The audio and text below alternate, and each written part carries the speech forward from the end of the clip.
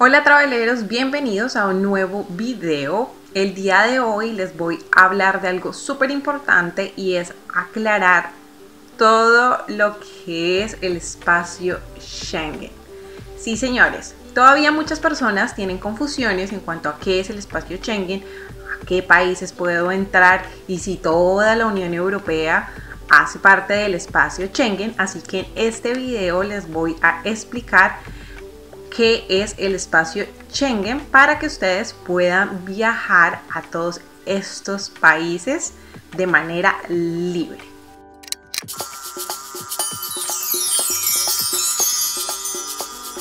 Bueno viajeros, quiero contarles primero que todo que para la gente que no me conoce, yo soy Char for Moments y soy una colombiana viviendo en Noruega y específicamente Noruega es uno de esos países que hace parte de el tratado o el acuerdo de Schengen.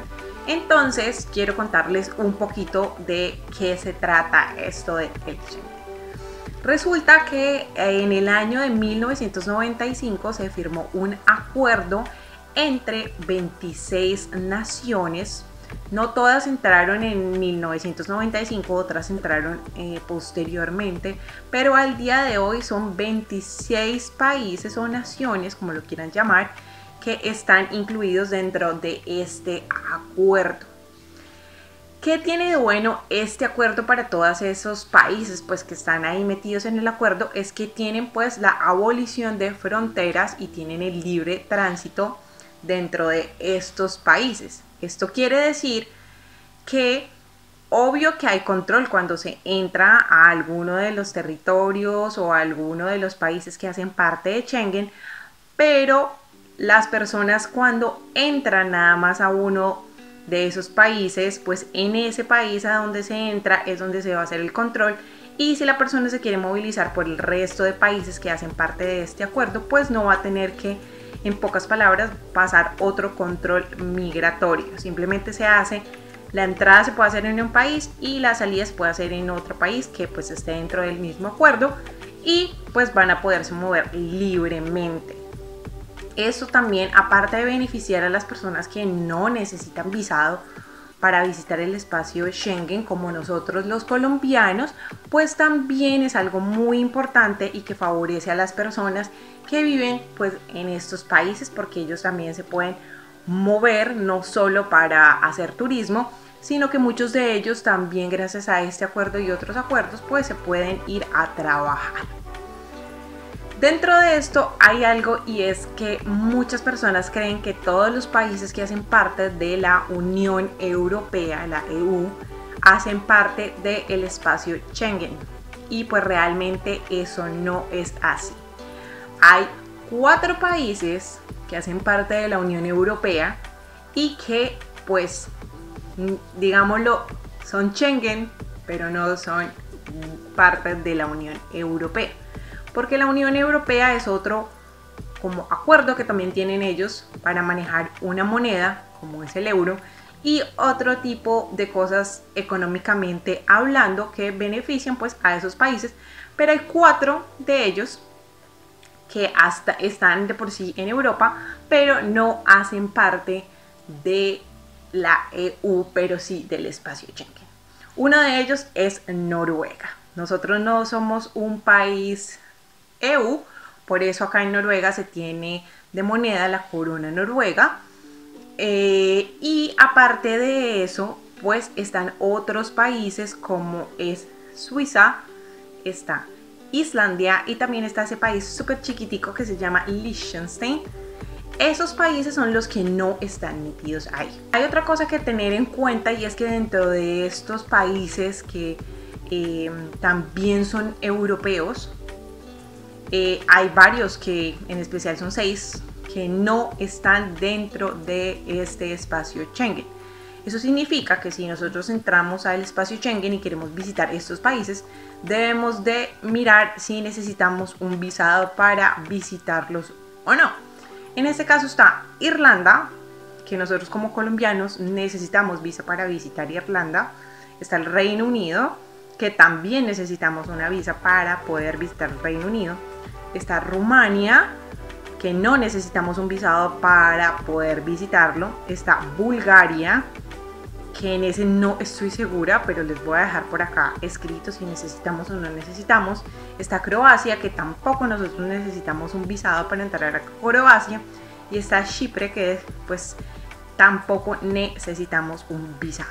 Hay otra cosa y es que aparte del beneficio de que ya no tenemos como colombianos que tramitar un visado para poder entrar eh, a lo que es el espacio Schengen, pues sí debemos de cumplir con unos requisitos que están pasados dentro de estos acuerdos que hacen eh, los países o las naciones y eh, son unos ciertos documentos que tenemos que presentar cuando llegamos prácticamente al país en donde vamos a hacer el ingreso a el espacio Schengen, pero también esos papeles nos los pueden pedir eh, en el aeropuerto en Colombia, principalmente en Bogotá, que es el que tiene salidas internacionales. Ahí también nos los puede requerir migración, preguntándonos para dónde vamos, cuál es el propósito. Ahí también nos pueden pedir estos papeles. Así que hay que tenerlos porque no sabemos si en algún momento algún agente de migración quiere pues pararte y preguntar si pues cumples con los requisitos para poder viajar o también pues cuando ya llegas al destino para poder entrar en migración te van a hacer una serie de preguntas. Eso es algo muy aleatorio. Entonces, como dicen por ahí, hay veces pueden que vean caras o pues simplemente preguntan al azar. Así que si ustedes cumplen con los requisitos no tienen nada de por qué asustarse. Vamos a empezar y el primero pues es que ustedes tengan un pasaporte vigente y que sea válido, que sea de los nuevos que tienen el chip. Y me refiero a vigente que, que ustedes planearon su viaje y tiene que tener al menos tres meses más de vigencia de la fecha de retorno en la que ustedes van a hacer. Digamos lo que si ustedes están ahorita en el mes de octubre, entonces quiere decir que ustedes tienen que tenerlo hasta noviembre, diciembre, enero del siguiente año, porque esa es su fecha de regreso. Eso es lo que establece como tal la ley. Por eso pueden no dejarte entrar, así sea que cuando compras el ticket de regreso estás a, se te va a vencer un mes después, por eso te pueden negar la entrada. Hay otra cosa y es que hay que mostrar los tiquetes aéreos, pues se supone que si ya eh, llegaste, no sé, pongamos ejemplo a España o llegaste a, eh, no sé, a Países Bajos, a Ámsterdam, que son las principales ciudades a donde se llega más o menos de conexiones, resulta que te van a pedir el ticket de regreso, entonces vas a tener que mostrarlo. Es muy recomendable llevar estos papeles impresos, pero si no también los puedes mostrar en tu celular, eh, no hay ningún problema tampoco puede que pronto ellos con las reservas quieran verificar en el sistema si realmente compraste el tiquete o no. Eso también es muy aleatorio. A mí la primera vez que entré a Espacio Schengen me preguntaron y la verdad yo lo mostré impreso, lo vieron y ya. Eh, las otras dos veces la verdad no me han preguntado si pues cuándo es mi fecha de regreso, sino simplemente me han preguntado cuál es mi motivo de visita.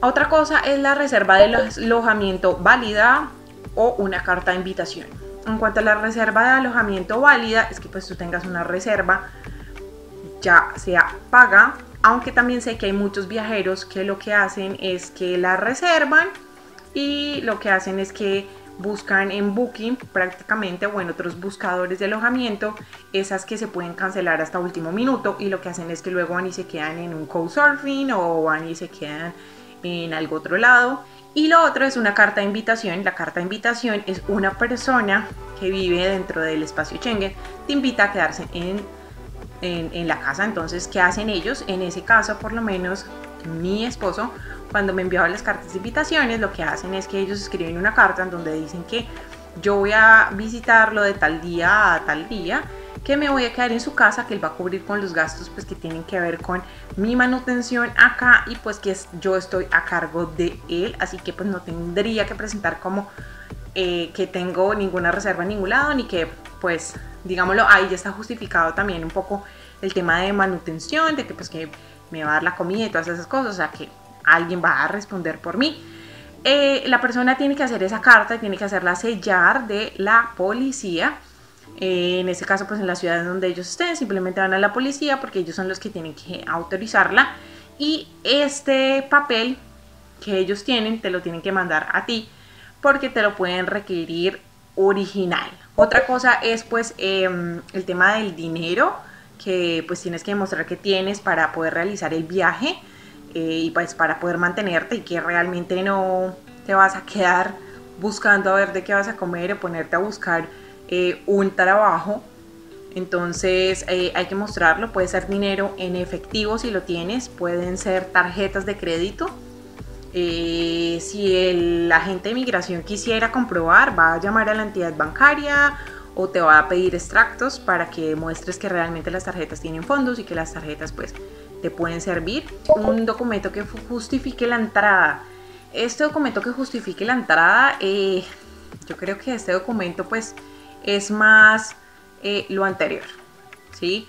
Eh, o muchas personas de pronto dicen, no, es que yo no vengo por turismo, no, es que yo no vengo a visitar un familiar.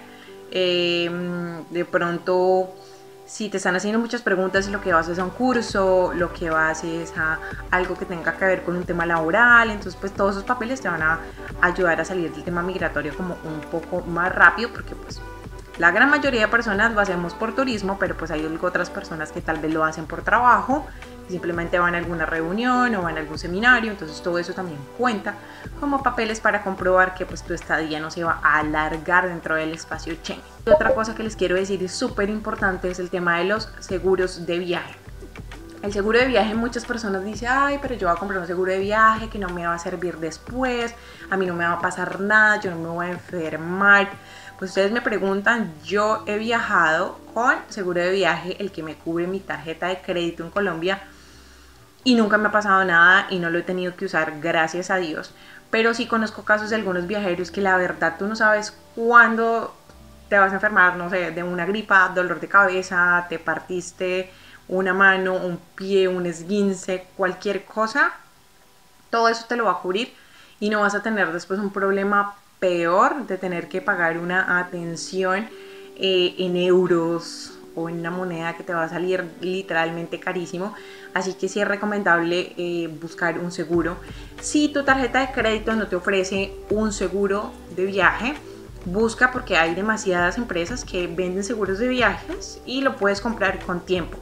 Existen algunos por un año, si es que eres un viajero muy frecuente, existen otros por seis meses, por tres meses o hasta hasta eh, uno en específico por solo los días que vas a viajar que también puede eh, servirte, depende de, pues, qué cantidad de tiempo vas a estar por fuera. Está completamente prohibido trabajar. Está completamente prohibido trabajar. Yo sé que muchas personas eh, lo que hacen es irse durante ese tiempo y buscar un trabajo y luego intentar aplicar a un visado. Eh, eso está catalogado como prohibido dentro de esto. Yo la verdad eh, no lo aconsejo mucho. La verdad yo creo que eso es una decisión de cada cual, pero no lo aconsejo. Yo aconsejo que si lo que quieren realmente es trabajar, busquen el trabajo desde su país de origen y luego ahí sí realicen el viaje, más que ahora ya pues eh, entrevistas se pueden realizar por Skype, eh, se puede literalmente todo el tema por internet y luego ya cuando estén seguros, ahí sí invierten, porque muchas veces esos 90 días que nos dan para poder estar eh, en el espacio Schengen realmente no te van a servir para poder conseguir un trabajo, puede que sí o puede que no. también tienen que revisar porque dependiendo del país muchas veces aplicar a visas de trabajo solo se puede hacer desde muchas partes, solo se puede hacer desde el país de origen y no aceptan que se presenten, eh, digamos, estos casos como que estás de visita como turista y entonces ahora luego vas a aplicar a una visa de trabajo. En algunos de los países no, no se puede, así que hay que revisar eso también ya específicamente cuáles son los requisitos para poder aplicar a un visado de trabajo siendo turistas. Y otra cosa que hay que aclarar acá es en cuanto al tiempo. Muchas personas tienen la duda de, ok, pero si entro y salgo de Schengen porque estoy haciendo el Eurotrip, entonces ¿cómo me cuentan esos 90 días? Resulta que estamos, digámoslo, que permitidos estar 90 días dentro del espacio Schengen dentro de cada 180 días.